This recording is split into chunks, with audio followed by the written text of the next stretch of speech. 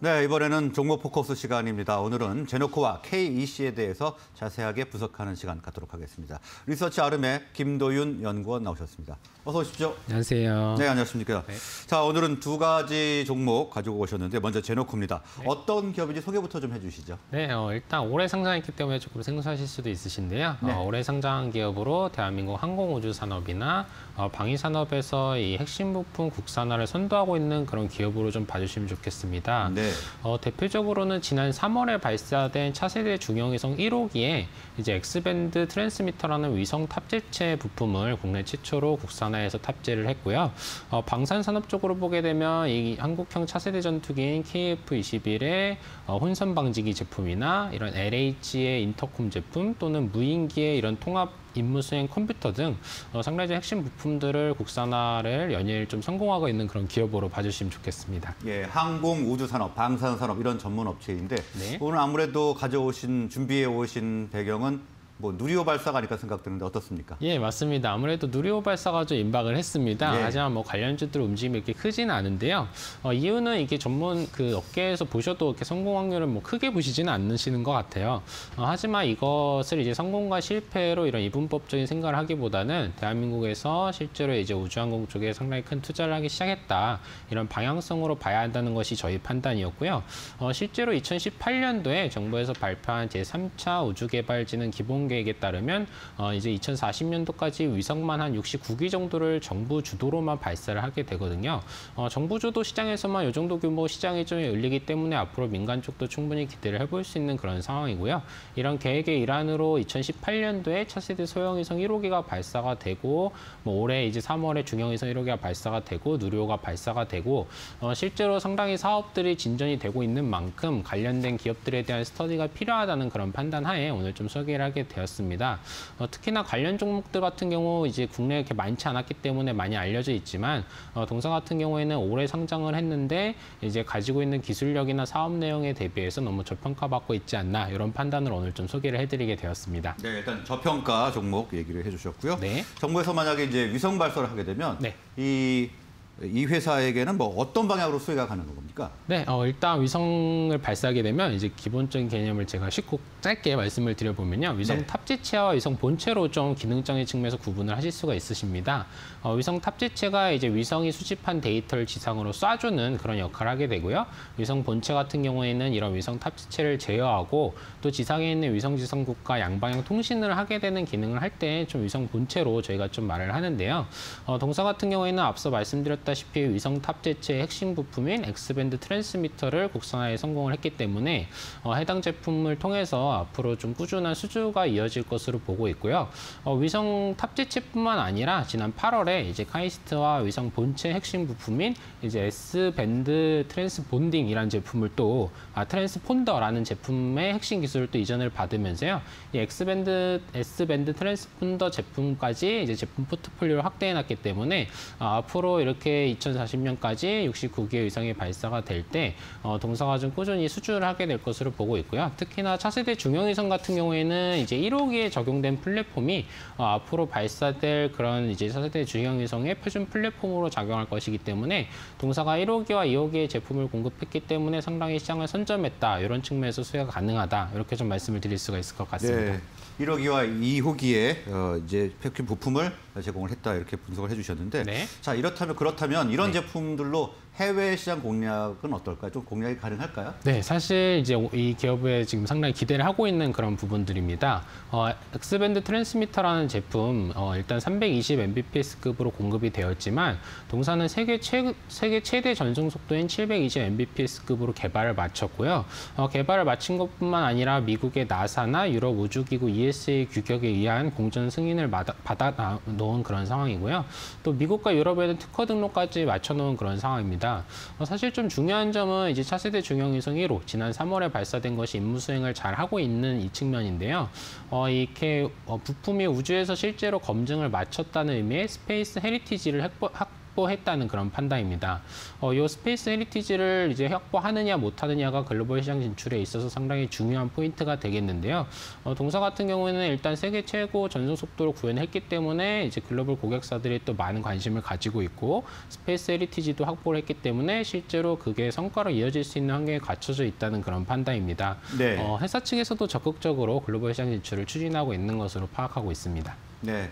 일단 근데 단어들이 좀 어렵습니다. 맞습니다. 네, 그래서 처음 접해봐서 네. 어, 단어들도 어렵고 그럼 이제 단가도 궁금해지거든요. 네. 어떤 정도로 형성이 되어 있습니까? 네, 어, 일단 320 Mbps급으로 봤을 때는 저희 추정으로는 10에서 20억 정도가 되겠고요. 네. 그리고 720 Mbps급으로 저희 추정으로는 한 25억 원까지도 가능하겠다 이렇게 말씀을 드릴 수가 있겠습니다.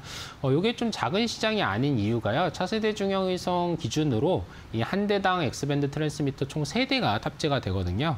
어, 이런 측면으로 봤을 때 이제 앞으로 수주할 금액이 적지 않고 또 말씀드렸다시피 1호기와 2호기에 동사가 공급을 했기 때문에 시장을 좀 선점할 확률이 있다. 이렇게 좀 말씀을 드리면 좋을 것 같습니다. 네, 상당히 가격이 세네요. 네, 상당히 괜찮은 편이라고 보고 있습니다. 예.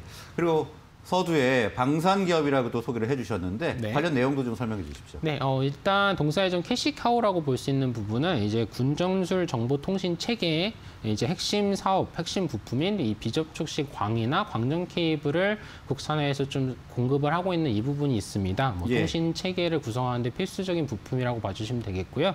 또 이외에도 앞서 말씀드렸다시피 뭐 KF21에 들어간 혼성망지기 또는 무인기용 이 통합 관리 컴퓨터 이런 개발들은 이런 것들을 개발한 그런 기업인데요. 어, 이런 그 부품들이 이제 실제로 그 적용된 그 기종이 양산이 될 때 동사한테 좀 실적적인 측면에서 아무래도 좋은 환경이 이뤄지게 됩니다. 어, 내년도에 일단 NH 그 소형 무장 헬기와 이런 무인기가 좀 양산 일정이 잡혀 있으면서 어, 실적적으로는 내년도에 좀 반영이 될 것으로 보여지고 있고요. 특히나 앞서 말씀드렸던 그 X밴드 트랜스미터와 함께 좀 글로벌 시장 진출을 기대하고 있는 그런 부품이 이 소형 무장 헬기에 탑재된 인터콤이라는 제품입니다. 어, 사실 잠재 전투 적합 판정 인증을 마쳤기 때문에요. 이것에 기반을 해서 해외 시장 진출을 같이 좀 준비를 하고 있는 그런 상황입니다. 예, 무인기도 준비를 하고 있는데 네. 그럼 언제부터 준비를 한 건가요? 네, 아무래도 무인기 사업이 좀 알려지지 않은 동사의 사업 부분이긴 합니다. 네. 2012년도부터 진행을 해왔고요. 어, 2012년도에서 2013년부터 준비를 해오면서 이제 좀 그 성과가 가시화되고 있는 그런 상황입니다. 어, IMC라는 것이 결국에는 이 임무 수행을 위해서 그 무인기가 사용하는 각종 잠- 장비들을 통합적으로 관리하는 그런 핵심 컴퓨터 기능을 좀 어, 한다고 볼 수가 있겠는데요. 어, 이것 외에도 이런 소형 센서를 이용해서 어떤 이제 타겟을 탐지하고 추적하고 식별하는 역할을 하는 뭐 센서 네트워크 기술 이런 좀 핵심 기술도 좀 가지고 있고요. 사실 무인기의 군 활용은 상당히 본격화되고 있는 그런 상황이기 때문에 앞으로 언제든지 무인기 관련된 모멘텀도 주가에 반영될 수 있다 는 그런 판단입니다. 네. 아, 상당히 전망이 밝은 회사인 건 분명한 것 같은데요. 이제 네. 중요한 건 투자 전략인 것 같습니다. 네. 우리 투자자분들이 어느 정도 선까지 매수를 해야 될지, 네. 또 목표가 어느 정도일지 좀 설명 좀 해주시죠. 네, 일단은 이제 현재 시가총액이 한 1,500억 원 수준입니다. 예. 어, 사실 위성 탑재체나 위성 본체 쪽에 이 핵심 부품 기술을 가지고 있다는 점과 또 space heritage를 실제로 확보했다는 점, 그리고 이런 방산 핵심 부품들을 국산화해가는 이 능력에 비해서는 상당히 좀 저평가를 받고 있다고 말씀을 드릴 수가 있겠는데요. 그 근거로는 사실 이 항공우주 관련 기업들 찾아보시면 적자 기업인데도 뭐 시총 2천억 원대까지는 충분히 다들 나오고 있는 그런 상황이고요. 네. 어, 그렇기 때문에 이제 동종업계 중에서 이렇게 실적이 나오지 않는 기업이나 뭐 PER가 500배가 넘어가는 이런 기업들을 제외하고 실제로 좀 저희가 인정할 수 있을 만한 실적이 나오는 뭐 한국 항공우주나 이런 휴니드 같은 peer들만 보더라도 PER가 38배 정도로 좀 형성이 되어 있습니다.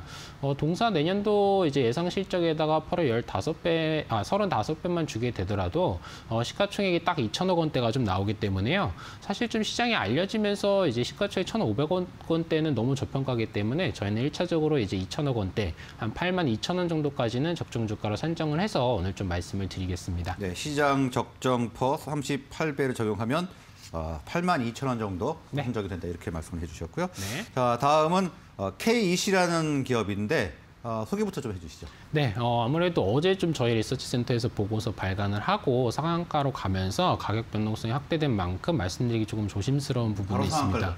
예, 맞습니다. 그래서 오늘 좀 어, 간략히 좀 말씀을 드리고 이 투자 전략적인 측면을 조금 좀 조심스럽게 말씀을 드려보고자 합니다. 예. 어, 동사 같은 경우에는 시스템 반도체 중에서 전력 반도체 쪽에 좀 집중을 하고 있는 그런 회사이고요. 어, 최근 전기차나 ESS, 뭐 데이터 서버 등에서 이 전력 반도체 수요가 워낙에 증가를 하다 보니까 어, 전력 반도체에 대한 수요가 증가하는 입장에서 전력 반도체 사업을 영위하고 있는 것이 상당히 매력적인 그런 기업입니다. 네, 전력 반도체 전문 업체인데 오늘 준비하신 배경은 어떤 게 있을까요? 네, 어, 우선 동사가 좀 이제 개발에 성공한 어, 그런 이제 제품을 하나 좀 말씀을 드리려고 합니다. 네. 일단 이제 실리콘 카바이드 trench 구조 SiC MOSFET 전력 반도체라는 제품인데요. 저도 사실 상당히 어렵습니다. 네, 기네요. 네, 그래서 이제 좀 제가 두 군데로 나눠서 이 제품의 특징을 좀 말씀을 드리고자 하는데요. 일단 실리콘 카바이드라는 소재에 대해서 좀 말씀을 드리고자 합니다. 네. 어, 기존에는 실리콘이 아무래도 좀 소재로 많이 사용이 됐었는데요. 이 실리콘 카바이드라는 제품은 어, 소재는 어, 실리콘 대비 소- 어, 강도와 열 전도율이 10배 그리고 3배 이상 높습니다. 어, 그렇기 때문에 고전압과 고열을 버틸 수 있기 때문에 어, 차세대 전력 반도체 소재로 상당히 집중을 받았던 그런 소재로 좀 말씀을 드릴 수가 있겠고요. 또 가장 중요한 점은 이 부피적인 측면입니다. 기존의 실리콘보다 어, 실리콘 어, 실리콘 이 카바이드 같은 경우에는 어, 이제 소형화가 가능한 그런 측면이 있습니다. 아무래도 이 전기차의 가장 좀 핵심적인 포인트가 이 소형, 이 경량화적인 측면이다 보니까 더더군다나 좀 주목을 받았던 그런 소재라고 좀 말씀을 드릴 수가 있겠고요. 사실 2018년도에 이제 테슬라가 어, 최초로 이 SiC 어, 실리콘 카바이드 소재의 전력 반도체를 활용한 인버터를 모델 3에 탑재하기 시작하면서 또 급격히 주목을 받았었고요. 어, 현재는 글로벌 전기 자동차의 30% 정도가 이 반도체를 좀 탑재를 했다고 하고 2025년도에는 한 60% 이상까지 좀 올라갈 것으로 전망치가 나오고 있습니다. 어, 제가 실리콘 카바이드 trench 구조라고 말씀을 드렸는데요. 이제 구조에 대해서 한번 말씀을 드려보면 네. 이 trench 구조는 이 SiC 웨이퍼에 골을 파넣어 가지고요 어, 면적 활용도를 높인 그런 구조라고 할 수가 있겠습니다. 이 실리콘 카바이드 trench 구조의 전력 반도체를 생산할 수 있는 기업이 세계적으로 두 군데밖에 없는 상황입니다. 어, 동사 같은 경우에는 이제 한국 산업기술평가관리원으로부터 어, 해외 선진사와 동등한 수준으로 인정을 받았기 때문에 현재 글로벌 전기차 업체들을 대상으로 이제 테스트를 진행 중에 있습니다. 어, 그런 적 이것을 포인트로 좀 오늘 좀 소개를 드리게 되었습니다. 네. 자, 그러면 시간 관계에서 간단하게 투자 전략만 듣겠습니다. 네, 알겠습니다. 일단은 지금 당장 접근하시기는 상당히 부담스러우실 겁니다. 어제 네. 상한가를 기록을 했고 가격 변동성이 확대가 되고 있습니다. 어, 전환 사채도 한 300억 원 정도가 이제 이번 달 27일부터 전환 가능한 기간에 들어가게 되기 때문에 오버행 부담도 있는 상황은 맞고요.